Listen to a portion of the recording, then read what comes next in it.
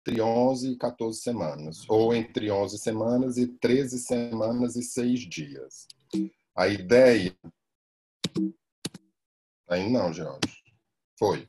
A ideia é que a gente possa conhecer os marcadores de aneuploidia, e talvez o que a gente converse mais sejam os marcadores de aneuploidia que a gente chama biofísicos ou ultrassonográficos, entender uma sequência lógica de identificação de uma anomalia cromossômica. Então, a gente vai falar de indicadores de história e de exames complementares, já que não há exame físico se suspeitar de, um, de anomalia cromossômica, e vamos falar um pouco de como a gente utiliza o programa da Phytomedicine Foundation para calcular o risco inicial e o risco final após o rastreio. Então, a ideia é que a gente, no rastreio, na anamnese, a gente já colete indicativos de que essa gravidez é de maior risco para uma anomalia cromossômica. Tradicionalmente, os dois riscos mais conhecidos são a idade materna, a gente vê já por quê, vou mostrar um gráfico, e os antecedentes. Então, um casal, especialmente uma mulher que já tem uma anomalia cromossômica, ela é de um risco maior para que ela tenha outra anomalia cromossômica. E esse risco é descrito como anomalia específico, ou seja, se ela tem um bebê com síndrome de Down, o risco dela de ter uma trissomia do 13, do 18, é igual à da idade dela. No entanto, o risco de uma nova síndrome de Down aumenta em cerca de 1%. Então, ela vai ter o risco da idade dela acrescida de pelo menos 1%. Ou seja, automaticamente ela já tá, entra no grupo de risco, porque o grupo de risco é aquele grupo que tem uma chance de anomalia cromossômica acima de 1%. Por isso, quando a gente for falar de idade materna, a gente vai entender que o risco da idade materna avançada, para a maioria, é 35 anos. Porque aos 35 anos, o risco de ter uma anomalia cromossômica é por volta de 1%. Então, todas as mulheres acima de 35 anos, especialmente acima de 38, já são consideradas de risco para anomalia cromossômica. Tem os marcadores bioquímicos, especialmente o beta-HCG livre, ou free beta, e o PAPIEI, que também, o PAPIEI é um dos rastreios para pré-eclâmpsia, como o professor Edson já falou. E os marcadores biofísicos, que são aqueles ultrassonográficos, que é o do nosso mais dia a dia, e é o que é especialmente utilizado no Brasil, porque os marcadores bioquímicos, apesar de estar na determinação da Febrasgo, ele não foi absorvido nacionalmente, muito menos localmente. O pessoal do Ceará realmente não pede, não solicita os marcadores bioquímicos e não sabe interpretar. Acho que daqui do grupo aqui, lendo, basicamente quem pede é o Homero e o Felipe, e que tem uma dificuldade com o laboratório, que às vezes não sabem nem que exame é isso, tá? E vamos falar da novidade, que não é mais tão novidade, é a pesquisa do DNA fetal no sangue materno, que aí mudou completamente o raciocínio da, do rastreio de anomalias cromossômicas ultimamente. E é óbvio que ainda não é acessível financeiramente, mas a gente precisa compreender como é que ele seria melhor utilizado. Esse aqui é, é um, um, gráfico por risco de anomalia cromossômica por idade gestacional. Ou seja, quanto maior a idade gestacional que um feto se encontra, menor é a chance dele ter uma anomalia cromossômica, porque muitas das anomalias cromossômicas, por conta das malformações, elas vão sendo perdidas ao longo da gestação, ou seja, vão tendo óbitos fetais na mortalidade. Então, para você ter ideia, as triploidias praticamente. As triploidias, não, desculpa. As triploidias morrem quase todas, ó, antes de 20 semanas e não vão chegar quase nenhum ao termo. os, as anomalias de cromossomos sexuais, como os Klinefelter, por exemplo, esses quase todos sobrevivem. Trissomia 18 e 13 Turner tem uma mortalidade maior, e a trissomia do cromossomo 21 tem uma, uma sobrevida até o termo de aproximadamente 70% a 75%. Esse número 70% a 75% para síndrome de Down a gente vai falar em vários outros momentos. E aqui o risco específico para a idade materna avançada. Então, o gráfico por idade materna e o risco das principais anomalias cromossômicas, a gente observa que os cromossomos sexuais, incluindo a síndrome de Turner, não têm um aumento pela idade materna. A chance de uma mulher tem uma síndrome de Turner ou uma outra anomalia dos cromossomos sexuais é semelhante em qualquer idade gestacional. Já dos cromossomos não sexuais, incluindo aí as principais, trissomia do 13, 21 e 18, ela vai aumentando e, sabidamente, após 35 anos, há um aumento quase que exponencial. O risco do somatório de todas elas, por volta de 35 anos, é de aproximadamente 1%. Uma gestação a cada 100 gestações numa mulher de 35 em mulheres de 35 anos, uma delas vai ter uma síndrome, uma anomalia genética, anomalia cromossômica. Com 40 anos é da ordem de 2%, uma a cada 50, e com 45 anos é uma a cada 20, ou seja, 5% das mulheres com 45 anos uma vai ter uma anomalia cromossômica. Então, se observa que a idade materna, junto com os antecedentes de anomalia cromossômica, na história clínica, são os dados mais significativos para rastreio de anomalia cromossômica. No entanto, a gente observa que somente cerca de isso em populações desenvolvidas, que no Brasil talvez seja um pouco um pouco menor ainda o número de mulheres grávidas acima de 35 anos. Então, se no rastreio eu faço só pela história clínica, especialmente pela idade materna e antecedentes, nós só iríamos conseguir detectar cerca de 30% dos bebês com anomalia cromossômica. Então, estas já têm, desde o início de sua gestação, a indicação de fazer um exame mais definitivo para anomalia cromossômica, ou pelo menos deve ser orientada nesse sentido. Então, já teria indicação de fazer um vírus corial ou uma amniocentese. Por que, que o risco é maior e elas só representam 30%. Porque o grupo de mulheres em idade materna avançada grávidas é um número bem menor de grávidas. Então, cerca de 70% das anomalias cromossômicas, e no Brasil talvez um número maior que esse, provavelmente maior que esse, vem de mulheres que inicialmente a gente considerava de baixo risco. Idade materna baixa e sem antecedentes de anomalia cromossômica. Fazendo um paralelo com o rastreio que o Edson apresentou na aula de é mais ou menos pegar esse grupo aqui e indicar anomalia cromossômica, como a gente pegou o grupo lá de 30%, 35% e já começou a S, e o rastreio passa a ser benéfico para as mulheres que inicialmente eram consideradas de risco. Que aí neste grupo a gente vai selecionar quem vai ser considerado de risco ou quem vai continuar no grupo de baixo risco sem indicação de procedimento fetal invasivo, como antes apresentou lá, no meio daquelas que ainda vão precisar de AS. Eu vou apresentar isso depois, quando a gente for apresentado aos os inúmeros, as inúmeras possibilidades de rastreio.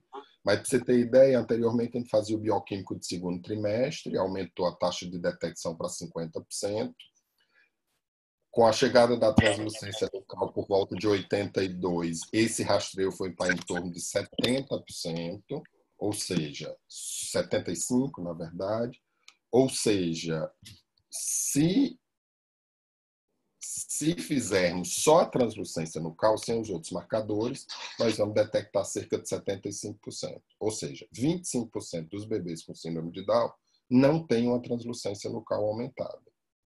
Isso me remete a alguns laudos que eu via, graças a Deus não vejo mais na cidade, que o cara colocava assim: translucência no cal normal, praticamente afastando a chance de síndrome de Down o que está longe da verdade, porque ainda 25% dos bebês sindidal têm translucência nucal absolutamente normal. Quando se trouxe os marcadores bioquímicos para o primeiro trimestre, e aí deixou ser o estriol, por exemplo, que estava aqui, ficou o papia e o beta-HCG, que também estava no segundo trimestre, essa chance foi para em torno de 87, 88% de taxa de detecção. E quando os outros marcadores biofísicos apareceram, como osso nasal, ducto venoso. A gente foi aumentando isso para cerca de 90% a 95% se a gente utiliza todos eles: história clínica, marcadores bioquímicos e marcadores biofísicos. Então, a taxa de detecção vai aumentando de acordo com os exames que eu vou aumentando a disponibilidade, ok? E aí, com a chegada do, do non-invasive prenatal test ou pesquisa de DNA no sangue fetal, no sangue materno, isso pode chegar para a síndrome de Down a 99,5%. A gente vai voltar a falar disso algumas outras vezes. Então, dos marcadores ultrassonográficos ou marcadores biofísicos, os mais conhecidos são esses quatro, são os quatro que pelo menos têm uma taxa de detecção acima de 70% e que mantêm uma taxa de falso positivo no máximo de 5%. Isso quer dizer, no máximo 5% dos bebês normais teriam a translucência aumentada, no máximo 70%, 5% de osso nasal teria aumentada, venoso ou fluxo tricústico. Tem alguém escrevendo 70% aqui na tela. Enfim, a gente vai falar separadamente de cada um deles e do somatório de todos eles, como a gente já viu, podendo chegar aí a 93, 95% de taxa de detecção. A translucência nucal, a famosa translucência ou translucência nucal, nada mais é do que um acúmulo líquido na região dorsal do bebê, do feto, todo o dorso e que acumula principalmente na região da nuca, por isso que foi descrita como translucência nucal. Mas do ponto de vista técnico, a medida deve ser feita no local mais espesso em qualquer região dorsal, mas esta quase sempre está na região da nuca. Esta foto aqui de ultrassom é do artigo original de 92, do Nicolaides, quando ele descreveu o primeiro possibilidade de, de, de, rastreio de síndrome de Down no primeiro trimestre, quando ele descreveu essa síndrome do, nucal aumentada e no, no, na confirmação era um bebê com síndrome, síndrome de Down. Na época não foi descrito, mas esse bebê também tem hipoplasia de osso nasal ou ausência de osso nasal. Aqui é a pele do osso, a pele do nariz. Então, por que é que tem esse acúmulo de líquido nesse período? Porque nesse período há uma insuficiência cardíaca fisiológica. O número de unidades sarcoméricas é muito pequeno em comparação com 14, 15 semanas, que é um aumento muito rápido. O ducto torácico ainda não se juntou com a circulação sistêmica, aumentando a chance de acúmulo de linfa.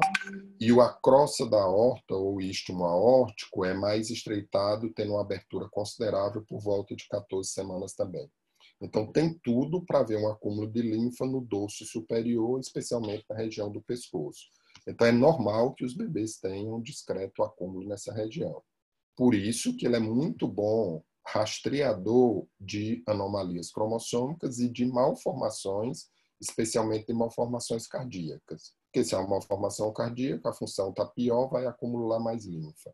Se é uma anomalia cromossômica, demora um pouco mais a abrir o estômago da horta, demora mais o ducto torácico e há muitas malformações cardíacas associadas, e aí você percebe que é mais fácil acumular esse, essa linfa. Outra coisa que a gente pode ver, bebês com infecções, com displasias esqueléticas por deficiência no tecido conjuntivo também podem ter aumento da translucência nucal. Então, não é só anomalia cromossômica que aumenta a translucência nucal. Tem muitas síndromes gênicas e tem muitas malformações não associadas a síndromes cromossômicas, mas virou quase que um significado de rastreio de trissomia do 21 ou síndrome de Down como é que deve ser feito essa medida ultrassom. Antes de falar de como deve ser feito, eu queria discutir um pouquinho, porque tradicionalmente a gente diz ou dizia que a translucência nucal era normal quando estava abaixo de 2,5 milímetros e anormal acima de 2,5.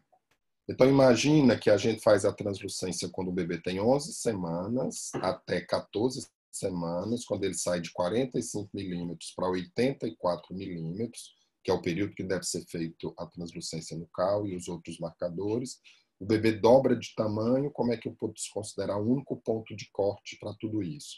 Então, o ideal é que a gente use os softwares para calcular o risco, mas quem não tem, que considere pelo menos o, percentil 95 por idade gestacional, que é mais ou menos para 11 semanas 2.1, para 12 semanas 2.3, para 13 semanas 2.6 e para 14 semanas 2.9.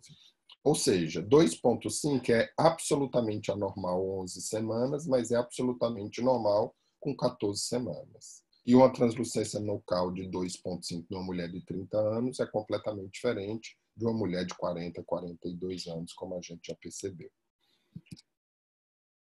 Tecnicamente está descrito, especialmente pela Phytomedicine Foundation, do professor Nicolaides, que foi que percebeu pela primeira vez e descreveu, e, e muitos serviços adotaram. Então, esta é a determinação internacional de como deve ser medido e documentado uma translucência nucal. Então, quando a gente libera um laudo de, de um morfológico de primeiro trimestre ou de um ultrassom entre 11 e 14 semanas, tem que estar documentado e feito a medida da translucência nucal no, adequadamente. O que é que a gente deve ter em conta? O bebê tem que estar em posição neutra, ele nem pode estar fletido, porque diminui a translucência nucal, nem defletido. Você deve estar no plano absolutamente médio sagital, não pode estar um pouquinho na lateral do, do perfil. O aumento deve ser tão significante que só caiba na tela do computador a cabeça e o tronco superior, a parte superior do tórax, e a pele fetal deve, deve estar muito bem visível. Essa pele fetal ela fica mais visível quando ela está horizontalizada, porque quando o feixe sonoro está incidindo em torno de 90 graus, a ecogenicidade da estrutura que eu estou tentando ver, ela fica mais ecogênica, mais definida. Então, em geral, o bebê fica no comprimento cabeça-nádega aí bem horizontalizado. Eu vou conseguir definir o perfil. Aqui a gente vê palato muito bem, vê os três marcadores anecoicos da translucência intracraniana, de ver o quarto ventrículo para rastrear espinha bífida, que é outra história. Mas você vê aqui o osso nasal e você vê a translucência. E a medida deve ser de dentro para dentro só deve ser medida o espaço anecoico perpendicular ao eixo do feto.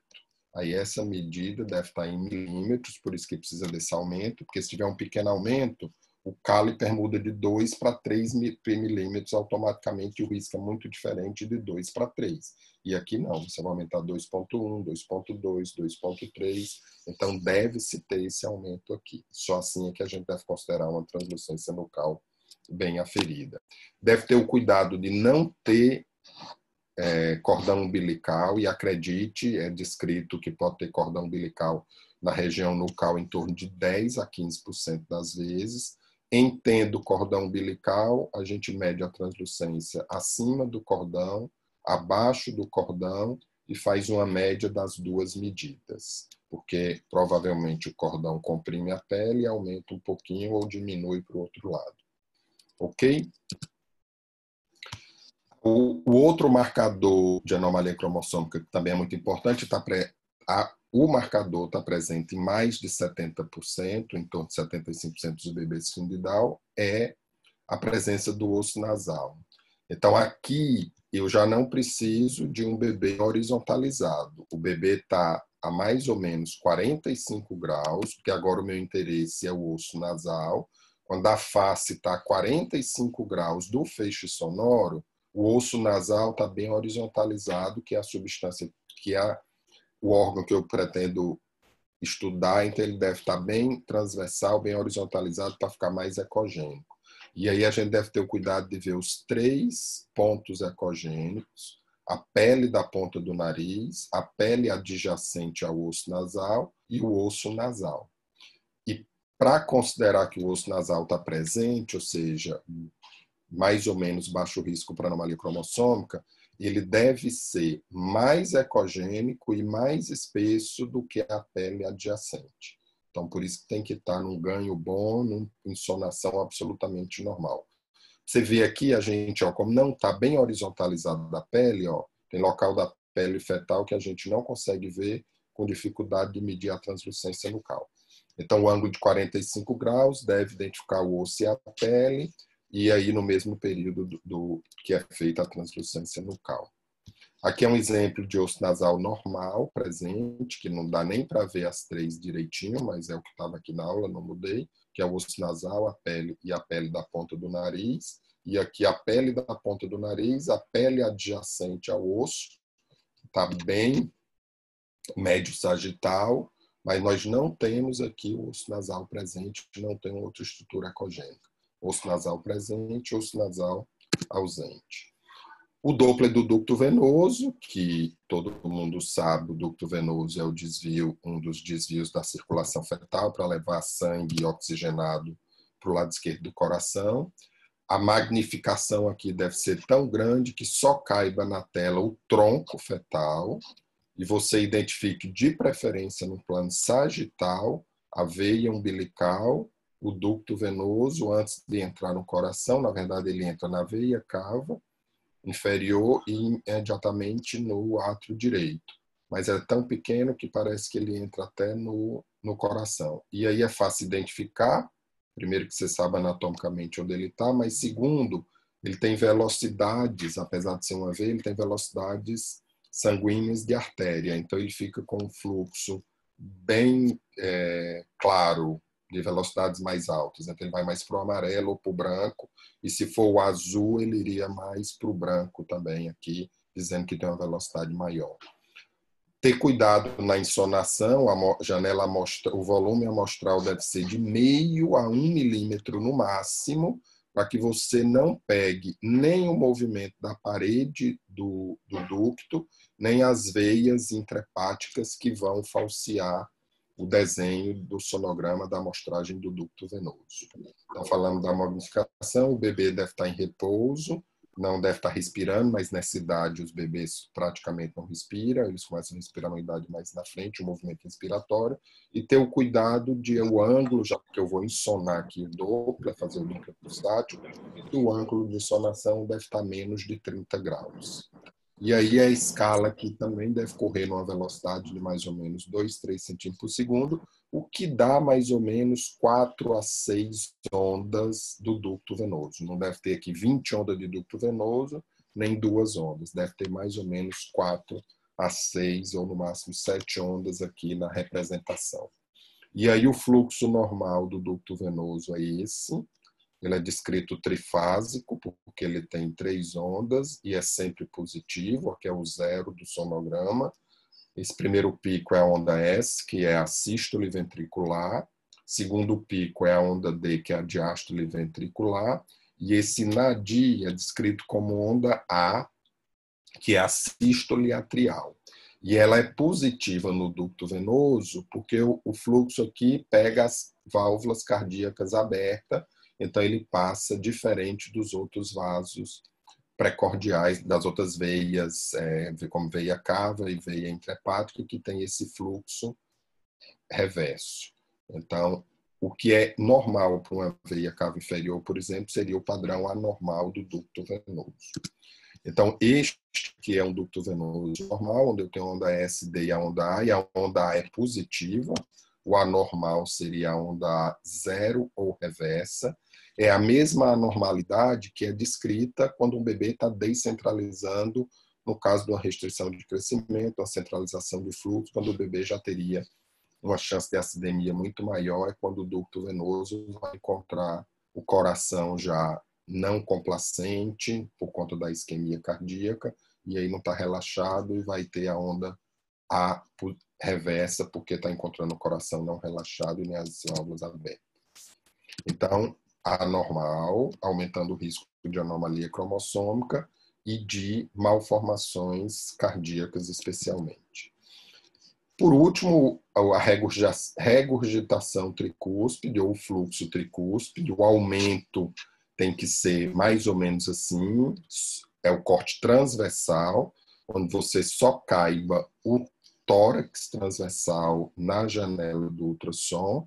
Você deve ter certeza que está na válvula tricúspide, deve ter amostragem de átrio e de ventrículo para você fazer o desenho do fluxo ali através da válvula tricúspide. Aqui a onda é e aqui a onda A, que no feto a onda é sempre ou quase sempre é menor do que a onda A, e nos adultos a onda E é menor do que a onda A. Mas não é isso aqui que nós vamos ver, porque aqui é o fluxo pela válvula. O que eu preciso ver é o refluxo do sangue voltando para o átrio. Então, é feito no mesmo período, entre 11 e 13 semanas e 6 dias, ou quando o bebê tem entre 45 e 84 milímetros. O corte tem que estar bem apical, de preferência para cima, porque aqui tem que estar no máximo a 30 graus. O feixe sonoro com o septo interventricular deve estar no ângulo zero, de preferência, mas não deve ser maior do que 30 graus. E aí também a janela amostral aqui de 2 a 3 milímetros, mas tem que ter o cuidado de pegar a amostragem driátrio de ventrículo. E deve fazer, especialmente quando está anormal, mais de uma verificação, porque quase tudo que está normal a gente deve repetir para confirmar que está normal. E da translucência no cal que eu não falei, o ideal é que a gente meça mais de uma vez, para não dizer várias, e que a gente considere a maior medida encontrada quando eu estou num plano correto de verificação. Aqui são exemplos de fluxo tricúspide, aqui é um fluxo tricúspide normal, onda E e onda A, sem refluxo durante a diástole, né?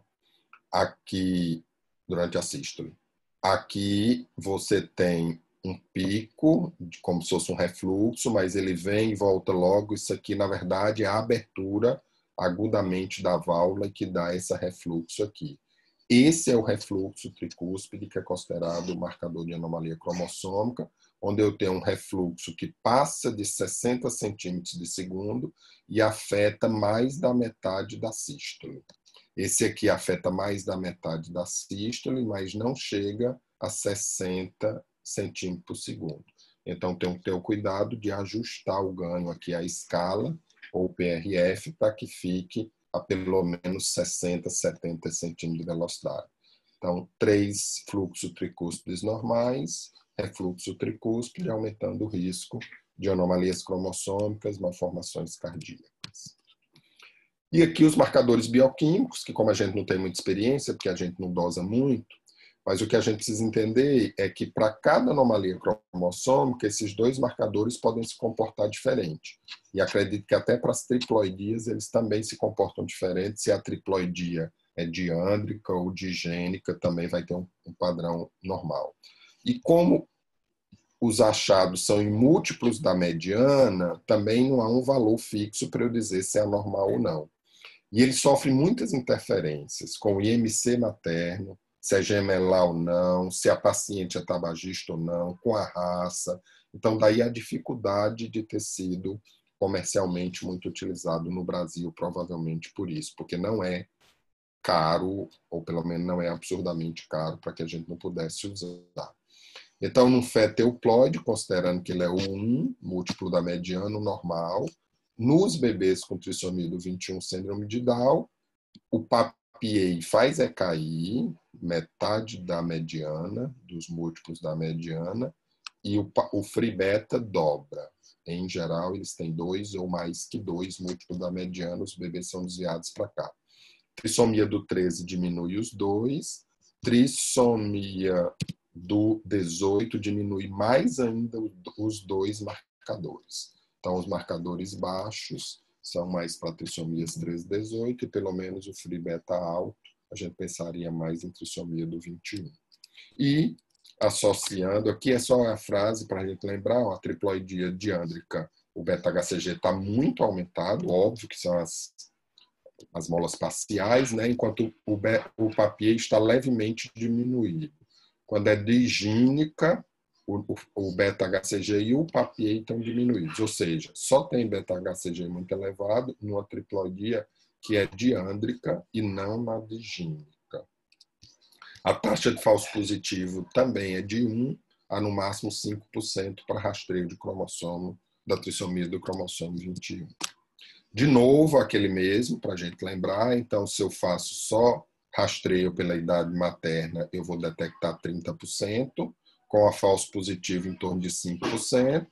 Quando eu vou aumentando os outros marcadores, eu vou aumentando, por exemplo, a translucência para 75, mantendo os 5% de falso positivo, podendo chegar em torno de 94, 95% se eu utilizo todos os marcadores bioquímicos e todos os biofísicos. Ou seja, só era para a gente estar tá deixando de não ser suspeitado cerca de 5 a 7% dos bebês com síndrome de Down. E com a, o NIPT isso está quase 100%, 99,5%. A gente já vai entender também porque que não é 100%. E aí, depois de entender como é que a gente faz o rastreio, a gente calcula o risco basicamente pela página da Phytomedicine Foundation, esse aqui é o site, qualquer um de nós pode entrar. Alguns de nós faz o curso, o curso é aberto, você assiste todas as aulas de rastreio de anomalia, de morfologia de primeiro trimestre, como fazer uma translucência, todos esses que a gente acabou de ver, e manda três fotos de cada uma dessas medidas para que eles atestem se você está gabaritado ou não para usar o software privado, que aí ele manda um código e a gente baixa o software no nosso computador. Quem não tem, usa o software livre, que aí também vai dar o risco e é o que todo mundo deve fazer. Mas só tem translucência no software livre. Só é incluído no risco de anomalia cromossômica ducto venoso, o fluxo tricúspide e o osso nasal naqueles que usam software de privado, só para aqueles que foram é, auditados, porque eles liberam para que você use no máximo um ano, depois de um ano você manda de novo novas três fotos e as suas medidas, e eles atestam se você está medindo direito ou não, para ser liberado para usar o software. Enfim, esse é um cálculo de risco que a gente deve fazer, eu mostro já o site. Então, na Phytomedicine Foundation, eles usam em todo mundo o teste combinado, fatores materna, translucência, quer dizer, a translucência e o bioquímico, eles usam o bioquímico todo mundo, e vai chegar num risco aí. Então, o risco é considerado alto se for mais que 1%, tem que ir para o invasivo para confirmar a anomalia cromossômica ou ver qual é a anomalia ali. Se o risco é menor do que 1 para mil, ele considera um risco baixo e aí tranquiliza o casal. Se o risco é intermediário, eles consideravam os outros marcadores, qualquer um deles anormal passava a ser rastreio positivo, tinha que ir para o exame invasivo. Risco intermediário com os marcadores todos normais, mesmo que a transferência tivesse aumentada, era considerado rastreio negativo e tranquilizar o casal. Isso mudou com o pesquisa do DNA no sangue fetal. Mas esta é basicamente o que a gente faz aqui no Ceará, por exemplo. Só que a gente põe osso nasal ducto venoso aqui, no lugar do bioquímico, e chega nesse risco. Maior que 1% a gente indica procedimento invasivo, menor do que 1 para mil a gente fica tranquilo. E risco intermediário, hoje a gente pelo menos induz a paciente a fazer um NIT para que seja, que é como eles utilizam lá também. E aí o DNA fetal no sangue materno que mudou completamente o rastreamento e para quem não entende o, que é o, o como é que se chegou numa, numa beleza que é a pesquisa do DNA, é porque, porque se brigou por muito tempo para ter células fetais na circulação materna. E se conseguia identificar células fetais, mas tinha dois grandes problemas. Essas células eram num número muito pequeno, que muitas vezes inviabilizava a análise, e se descobriu que as células fetais que caem na circulação materna podem sobreviver por mais de uma gravidez, por mais de um ano, por mais de dois. Então, não havia uma certeza absoluta, mesmo sendo uma célula fetal, se era daquela gravidez ou de uma gravidez passada. Então, o grande barato foi conseguir perceber o DNA que é liberado na circulação materna não pelo feto, mas pelo trofoblasto. Por isso que não é 100%, porque o trofoblasto tem mais ou menos a mesma carga genética do feto em quase 100%, não em 100%. Em 99 a 99,5%, a mesma carga genética da placenta é a mesma carga genética do feto. Em meio a 1%, não é. Pode haver um mosaicismo de placenta e serem diferentes. Mas isso ajudou muito e aí a gente está chegando em 99, 99,5% de detecção, pelo menos para síndrome de Down. Outras síndromes, essa chance é um pouco menor. Então, eles pegam o plasma materno, separam que é célula branca, que aí é o DNA materno, e no plasma é que tem DNA materno e DNA fetal, eles vão sequenciar, analisar, multiplicar, todas aquelas técnicas de laboratório de genética para poder fazer uma leitura. E aí o que a gente sabe é que essas, esse DNA pelo trofoblasto ele começa a ser expresso cedo, em torno de 4%. O exame é sugerido fazer após a décima semana, porque aqui já há uma chance de sangue DNA fetal em comparação ao DNA materno no plasma de mais de 4%. No entanto, uma das avaliações da qualidade do exame é que essa porcentagem de DNA fetal esteja acima de 6%. Quando ela está abaixo de 6% de erro, é maior. A gente não teria aquela detecção de 99, 99,5 para síndrome de Down. Ok? Então, pode fazer a partir de 10 semanas. Muitos serviços fazem entre 10 e 11 semanas. O resultado vai levar 10 a 15 dias. E aí, quando ela vier para a translucência, ali com mais ou menos 12, já teria o resultado do, do DNA. E aí a gente somaria para quem está fazendo isso de maneira universal, que não é a nossa prática mesmo. Existem várias técnicas, e acredite, tem uma técnica que consegue, inclusive, dizer a zigosidade, se é uma gestação gemelar e se aquela gestação gemelar é monozigótica ou dizigótica. E consegue, já quem está pegando partículas de DNA, dizer se ali é uma triploidia, que nas primeiras técnicas não conseguia dizer, porque é só partículas de DNA de um cromossomo, eles sabiam que tinham a mais ou a menos, mas não conseguiam ver os outros cromossomos para dizer se havia uma triploidia. Ok? Então, isso aqui são, é um estudo, aqui são números absolutamente fantásticos, não é o que é reproduzido em vários outros estudos. A taxa de detecção para a trissomia do 21 chega a quase 100%, para a trissomia do 18, cerca de 97, 98 e 13, 97. O que é que é descrito é que aqui é em torno de 99, 99,5 e aqui em torno de 97 para os dois em muitos, muitos estudos. E olha a taxa de falso positivo, 0 a 0,4%. Ou seja, para um exame que ainda hoje é considerado de rastreio, praticamente dando o diagnóstico de uma anomalia cromossômica tal a, a baixíssima taxa de falso positivo. Para a monossomia do X, a taxa de detecção de alguns estudos gira em torno de 96%, mas para outros gira em torno de 90%. E para os cromossomos sexuais, por isso que o, o a sexagem nada mais é do que essa técnica aqui. É a pesquisa de DNA dos cromossomos X e Y na circulação materna pela mesma técnica. Por isso que se aproxima de 100% dos sexuais, mas não é 100, como eu já falei, mas é porque tem uma placenta masculina e um bebê feminino é mais difícil ainda. Então, por isso que a sexagem beira aí os 100%, mas não é 100%. Apesar de ser um, um exame quase diagnóstico, não é. Quando ele dá negativo, a gente considera que é negativo, mas quando ele dá positivo, ele deve ser confirmado dada a importância de um diagnóstico desse, especialmente nos países de primeiro mundo, onde a maioria desses pacientes vão para interrupção de gestação. Então, não daria para ir para interrupção de gestação com exames de rastreamento, precisaria ir com exame de certeza. Alguém quer falar aí? Ok.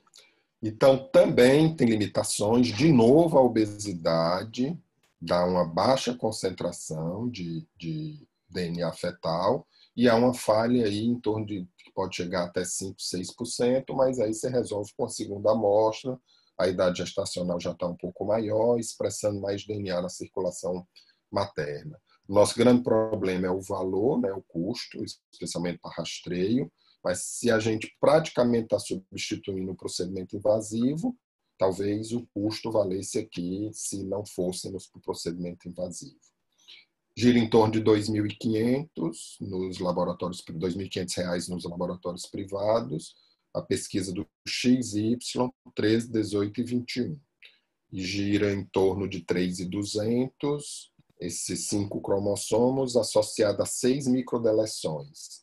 É o Angelman, o Di George, crido enfim, seis doenças gênicas já estão conseguindo ser detectadas pela pesquisa do DNA então, no sangue materno, também com a taxa de acerto de mais de 90%.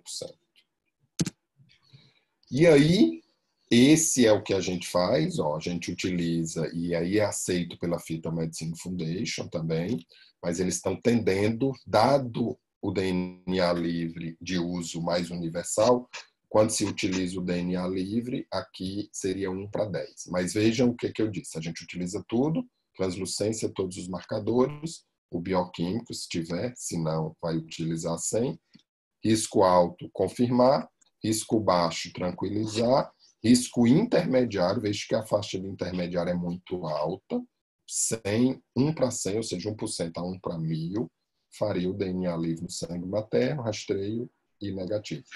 Esta é a que eu utilizo no meu aconselhamento, no meu dia a dia da clínica privada, porque na clínica pública a gente não tem isso. Então, se der mais um para 100, eu aconselho invasivo, se der intermediário, eu aconselho o DNA livre e se der baixo, a gente não precisa conversar com o casal.